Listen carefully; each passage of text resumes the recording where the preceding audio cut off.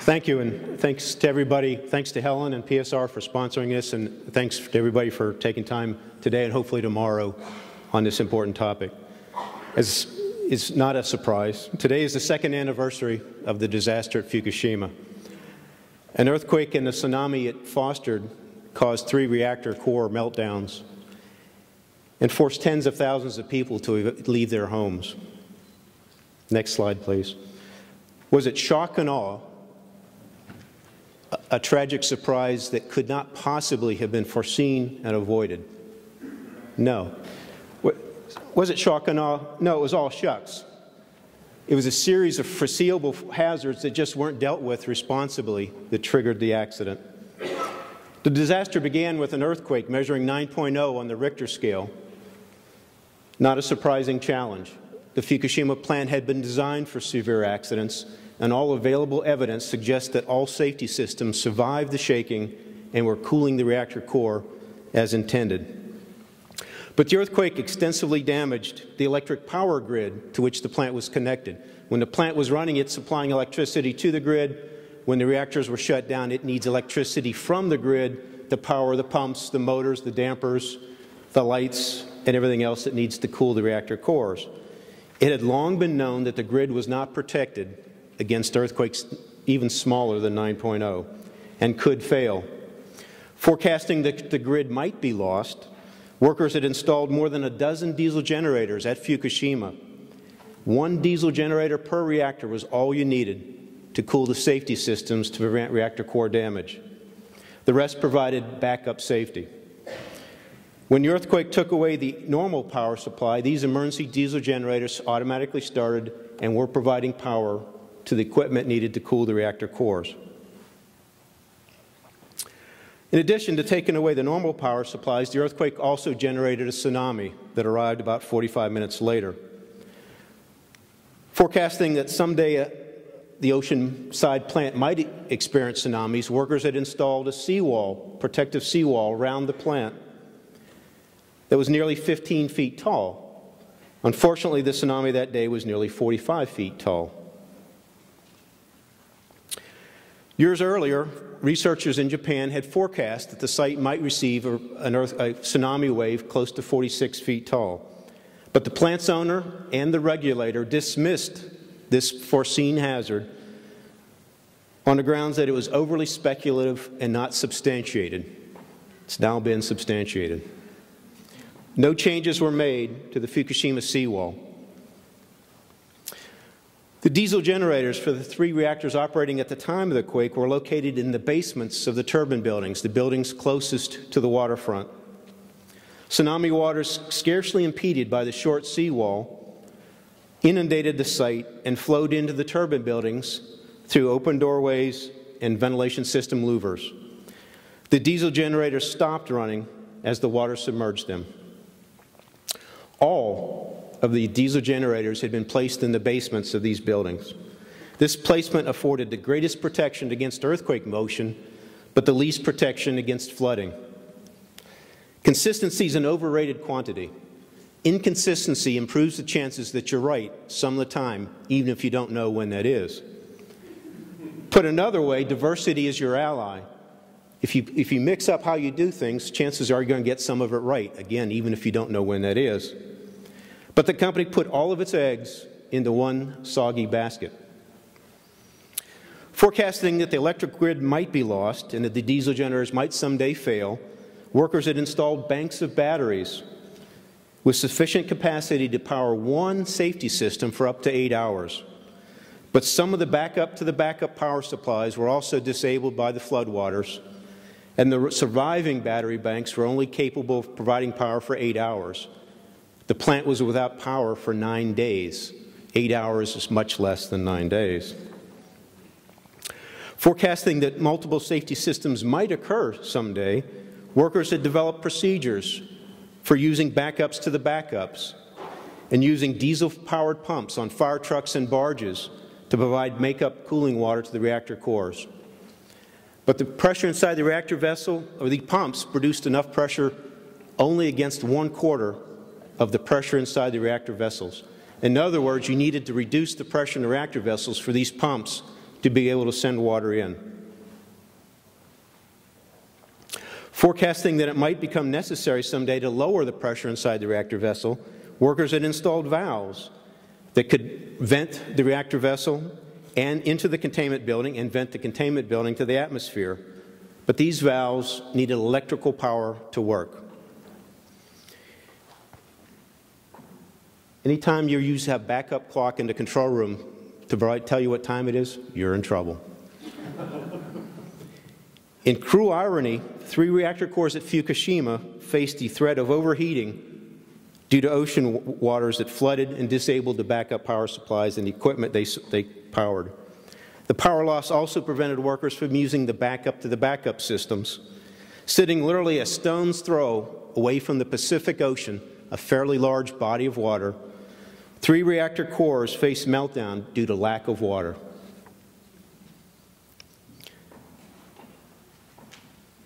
Forecasting that reactor cores might someday overheat and melt down, producing large amount of hydrogen as the fuel melted down, workers had installed systems to purge the air inside containment and get rid of the hydrogen.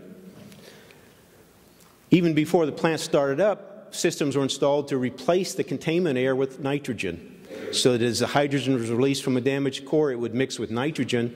No oxygen was present, and it could not explode.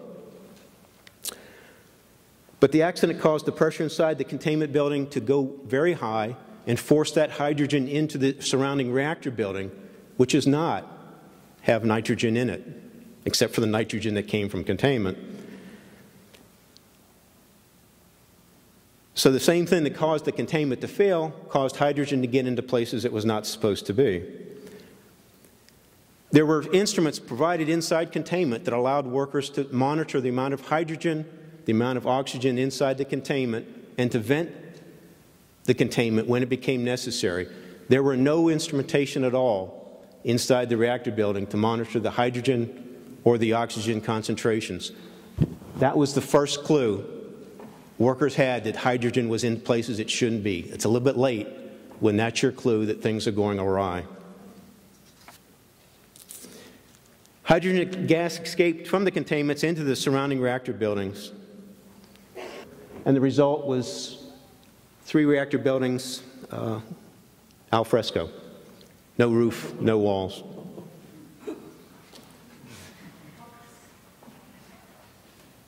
Took a while to do that too. It didn't happen all the time. With all these forecasts of hazards that were identified, the only surprising thing about Fukushima is that no steps were taken to manage the hazards. The warning signs were all there for many, many years prior to that disaster. One only needed to heed rather than ignore the warning signs.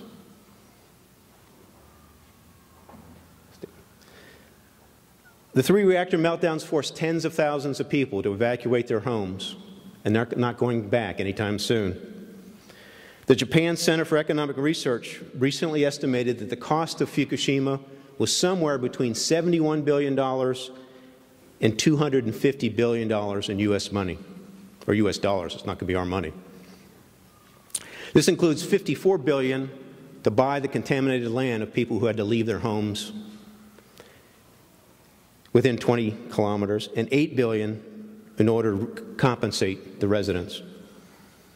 Even if the actual price tag ends up being at the low end of this 71 to 250 billion dollar range, that cost far exceeds what would have been a prudent safety investment years ago. Had the electrical grid been fortified to withstand an earthquake, the continued availability of electric power would have prevented this disaster. They would have had electrical supplies for the workers to use any number of equipment that was already there.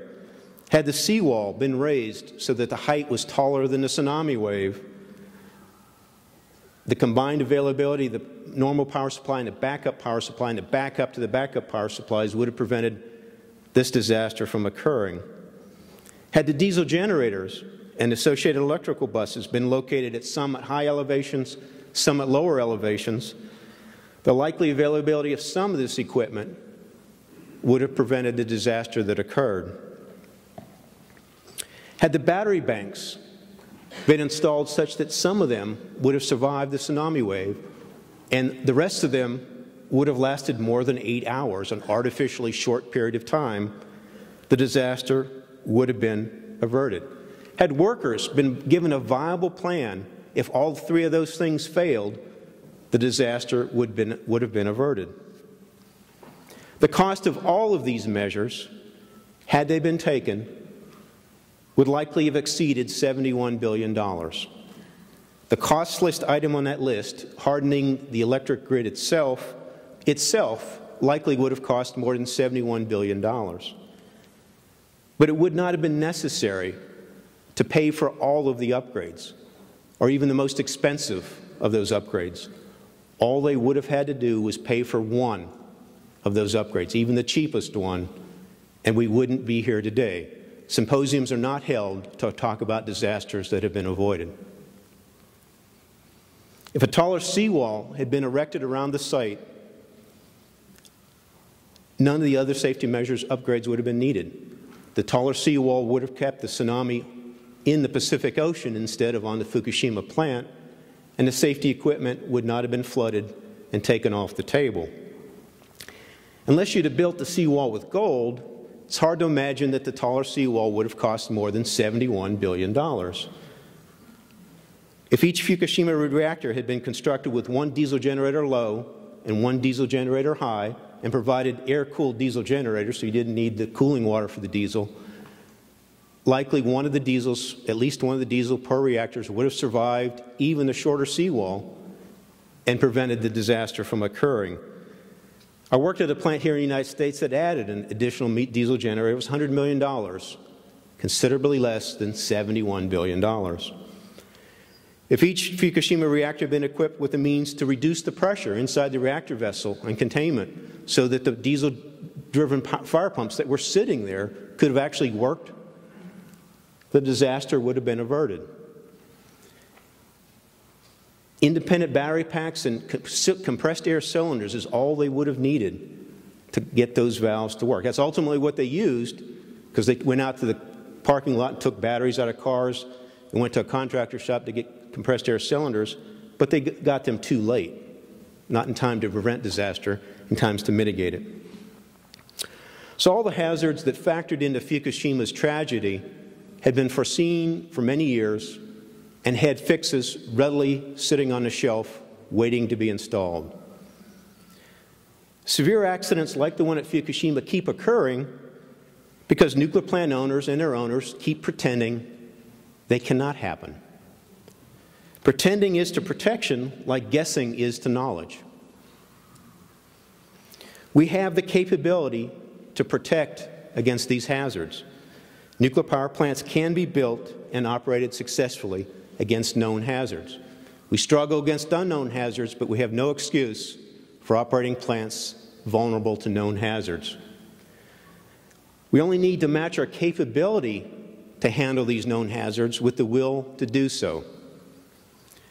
When researchers concluded that Fukushima might experience a tsunami taller than its seawall, that should have led the nuclear plant owner and the regulator to evaluate whether we need to build a taller seawall or take other steps like relocating emergency diesel generators or providing a reliable backup so that something survives the tsunami threat that you know you're vulnerable to. It's okay to pick the cheapest from amongst those options unless the cheapest is to do nothing against a known hazard. That's irresponsible. People should go to nuclear jail when they make those decisions.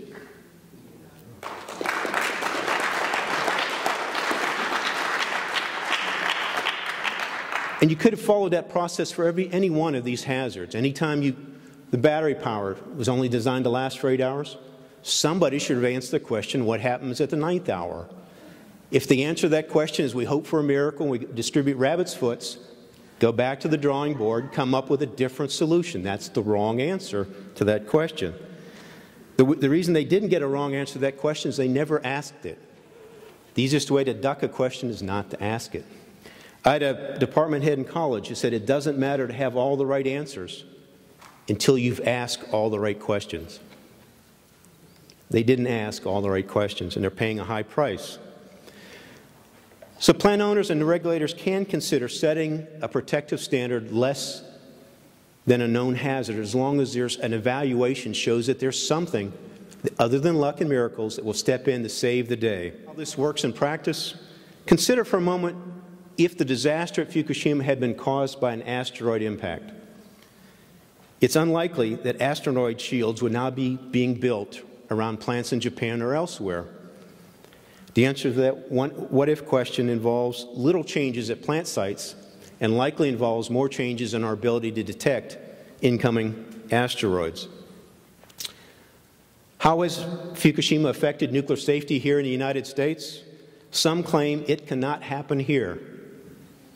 If the it they're referring to means the status quo that allows the Nuclear Regulatory Commission to pretend these things cannot happen, they are right. It cannot happen here. We're not ending that status quo, apparently.